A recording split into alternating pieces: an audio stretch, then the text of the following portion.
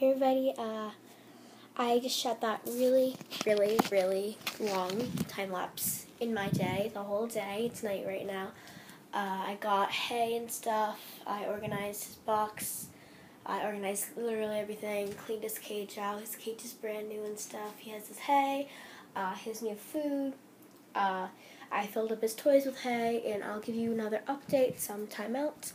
But for now, that is goodbye. That's all I have for you guys today. Hope you enjoyed this video and be happy. Bye!